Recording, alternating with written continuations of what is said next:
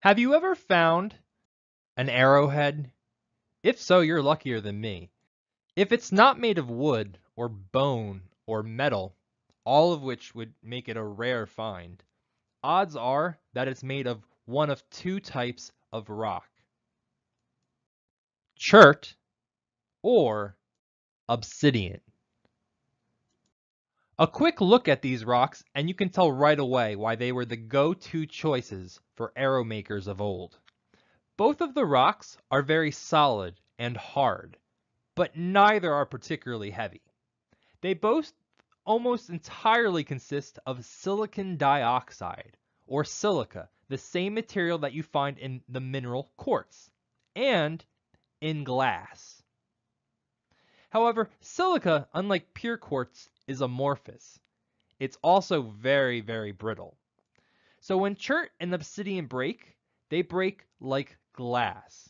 And you end up with conchoidally fractured surfaces with very sharp edges, perfect for arrowheads. It's tempting to look at chert and obsidian and say, oh well, they must be the same type of rock. However, you would be dead wrong. Chert is a sedimentary rock. Like other sedimentary rocks, it is primarily found in layers called strata. These strata formed when there was a chemical reaction of fluids, which contained high concentrations of dissolved silica, which precipitated on the seafloor in these layers. Obsidian, on the other hand, is a type of igneous rock, a naturally occurring volcanic glass. It forms on the margins of certain lava flows that cool or are quenched very rapidly, such as you might find where hot lava is cooled by ocean water. If the lava contains a high concentration of silica and the lava is cooled quickly enough, then obsidian may form.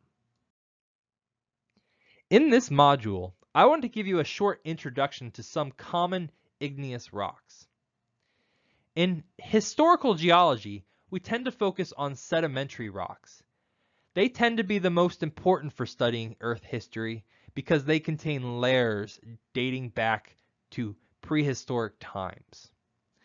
But there are some real advantages to understanding a bit about igneous rocks.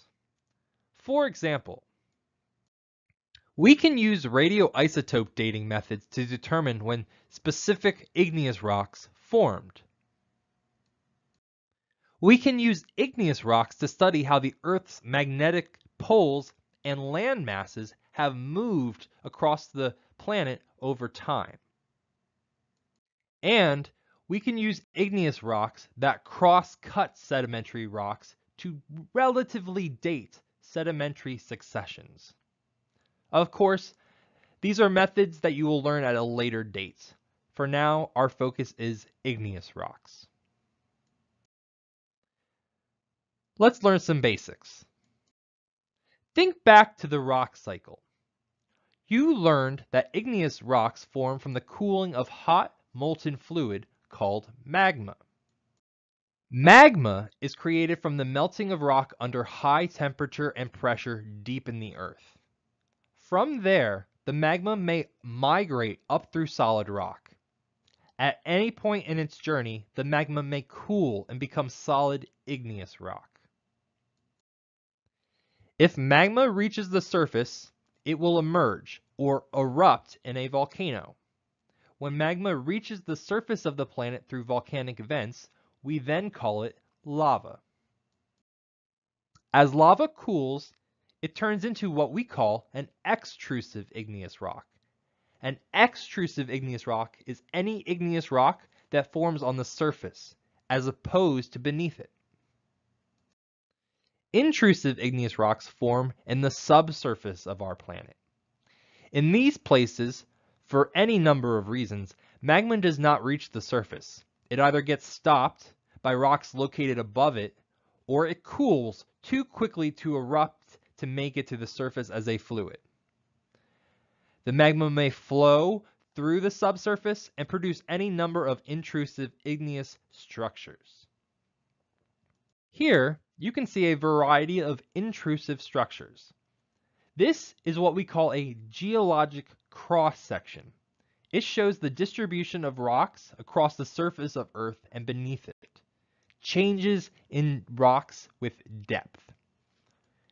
Note how the igneous structures cross-cut sedimentary rock strata, illustrated in purple, red, green, blue, and yellow. The various igneous intrusive structures form for different reasons, but they all tend to be interrelated. It is sometimes helpful to think of intrusive igneous rocks like they are all part of one big plumbing system.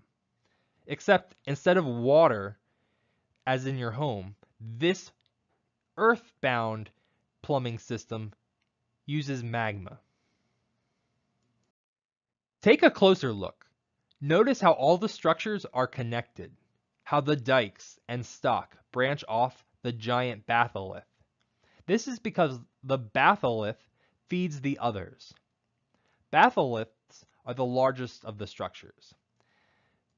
They can reach over 50 miles in diameter. They tend to form deepest in the earth before making their way to the surface.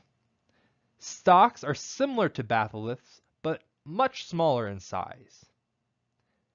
Magmatic dikes are much smaller and more localized than both. They form when magma fills cracks and fractures before cooling and solidifying into igneous rock. Here you can see a small dike in Alaska with more training and field experience, it will become easier for you to spot intrusive igneous rocks like this one. Let's look again. Notice how dikes feed sills and laccoliths. Structures like sills and laccoliths occur where magma flowed and cooled between layers of rock. From a distance, they may appear like sedimentary strata. But if you look carefully, you will notice that the magma distorted the other layers and the igneous material is very localized. Again, it becomes easier to spot intrusive rocks with more training and experience. Igneous rocks receive different names depending on their composition, appearance, and origin. Indeed, it is helpful to think about some of the most common types of intrusive and extrusive igneous rocks. It is very likely you have heard of basalts and granite. These are names for two different types of igneous rocks. Basalt is an extrusive igneous rock, and granite is an intrusive rock. Basalt is often very easy to identify. Although it can sometimes be somewhat green or red, it is usually black because it contains high concentrations of magnesium and iron. It is a fine-grained rock, meaning that it does not contain any large crystals that are discernible to the naked eye. Instead, what you will often see are vesicles, which are small cavities and pits on the surface and inside the rock. These vesicles form when magma contains gas, which create bubbles as the magma cools. When this happens, the rock solidifies around the bubbles, leaving these vesicles in their place. In all these ways, basalts differ dramatically from the other common type of extrusive igneous rock, rhyolite.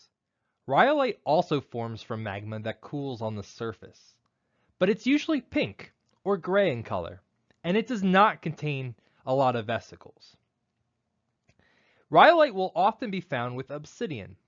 Like obsidian, rhyolite is also very rich in silica. Rhyolite and obsidian share their magma with granite. Like rhyolite and obsidian, granite is also rich in silica.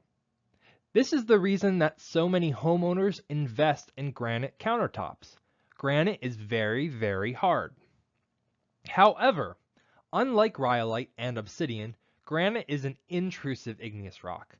The magma cools in the subsurface, underground. Indeed, it is one of the most common intrusive igneous rocks on our planet, yet another reason people commonly use it for countertops. Granite also differs from rhyolite and obsidian in appearance. Like rhyolite, granite also tends to be pink, white, or gray. However, it is a coarse-grained rock. The mineral crystals that make up granite are very easy to see on the surface. It has a very distinctive crystallographic appearance.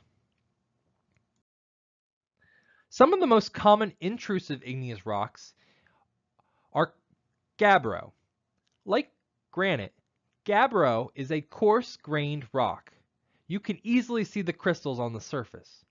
However, it is usually black or dark green and is much more similar to basalt in composition. Like basalt, gabbro contains high concentrations of iron and magnesium. Indeed, basalt and gabbro come from virtually the same magma. Why do the differences among these igneous rocks exist? Why are some coarse-grained while others are fine-grained?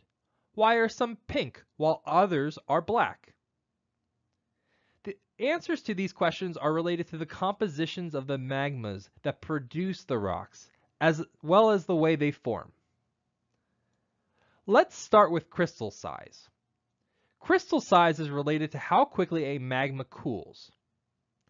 You probably noticed that the intrusive rocks that we've discussed, granite and gabbro, are both coarse-grained and have very large, conspicuous crystals, which you can see with the unaided eye. Basalt and rhyolite, the extrusive rocks on the other hand, are fine-grained. This is no coincidence. When magma is underground, it is insulated, and it loses very little heat over time. For this reason, it cools very slowly, and it solidifies very slowly. This means that an intrusive rock takes a long time to form.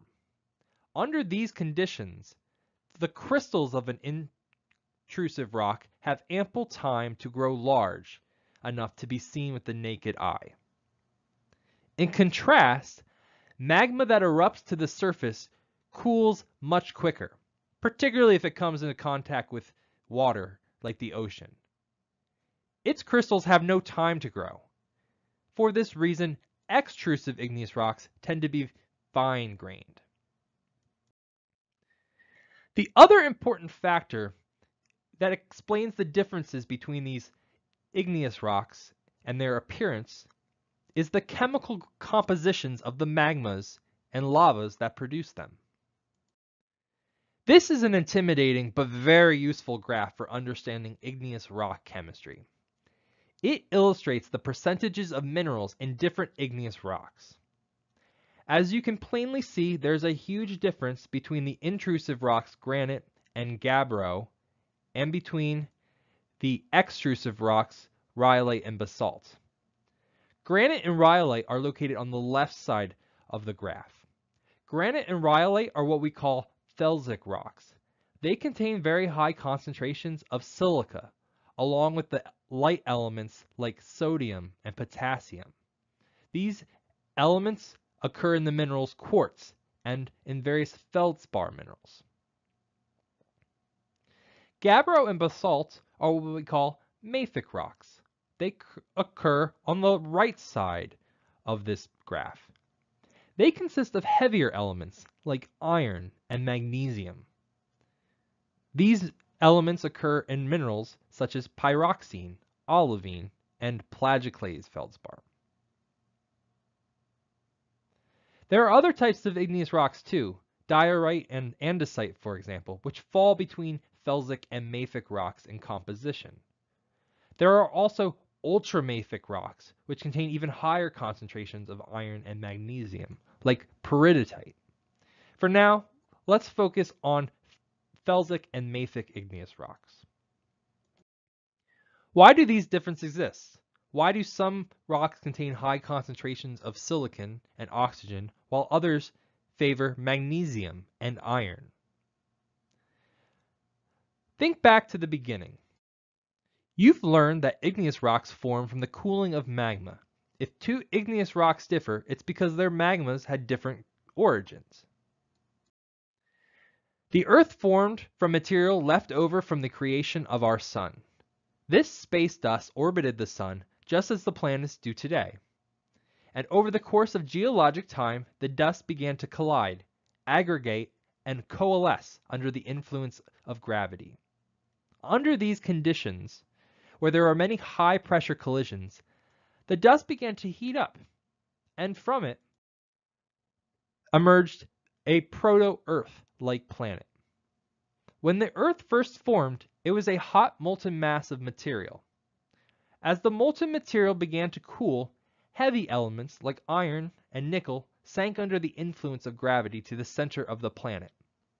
Lighter elements like silicon and sodium and potassium and oxygen were displaced to the surface of the planet, where they now occur in the quartz and feldspar minerals of the crust. In this context, it is likely that events that happened on Earth billions of years ago still affect the chemical composition of magma today. I think that's pretty cool. How about you?